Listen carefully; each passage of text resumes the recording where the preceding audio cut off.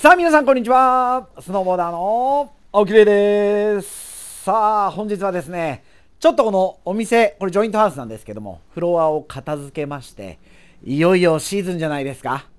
いよいよ今週末から僕のベースの丸沼高原もオープン予定で僕はもう毎日毎日何だったら1日何回もライブカメラチェックしているんですけれども来たるシーズンに向けて今日はボードの上でのバランス特に滑る時の手どういうふうにしましょうかと、まあ、どういうふうに使っていくどういうふうにするのがいいとかってよりもどういうふうに考えてますかと。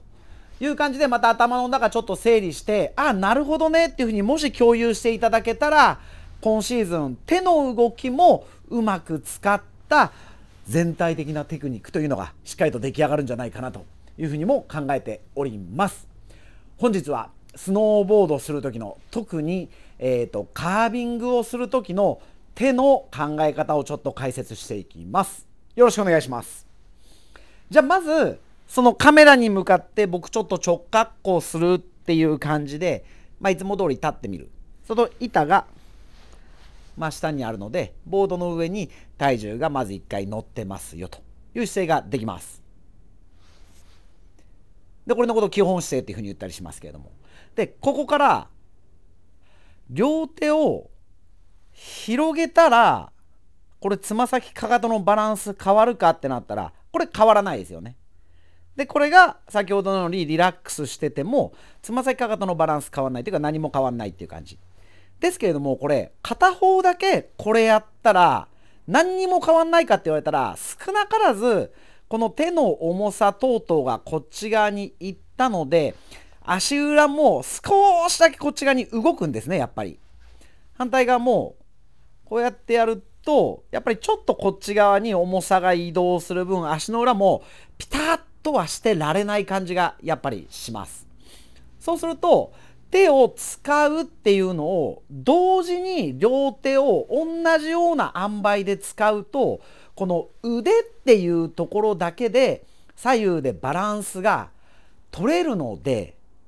これ同じように使ってあげるともしかすると使わないよっていう時とあんまり変わんないバランスが出来上がるかもしれないなという感じでございます。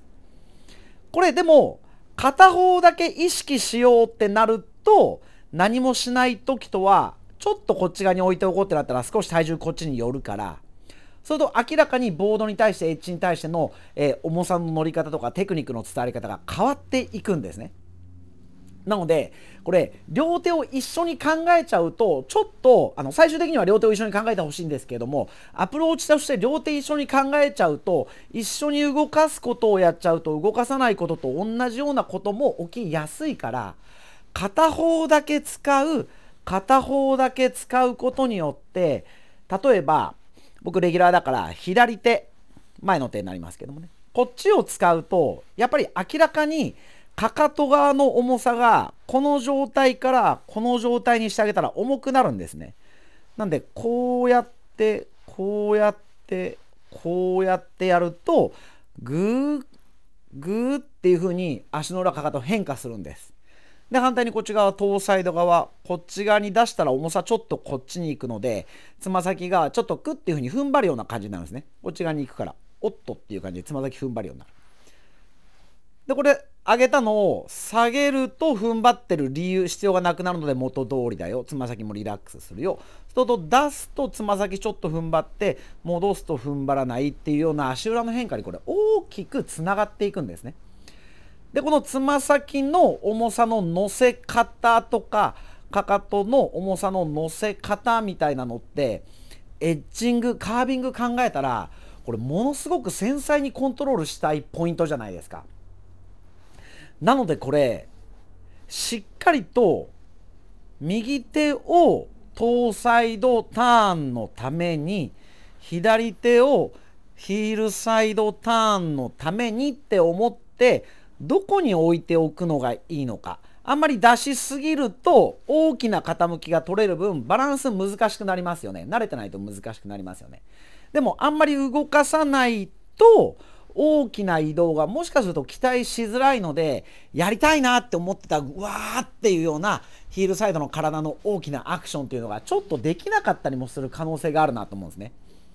そうするとここからヒールサイドの動きって考えていったら明らかに手動かさないよりも手優先させての方が大きな動きにつながっていくんじゃないかなと思うのでこの手っていうものをしっかりと 有効活用して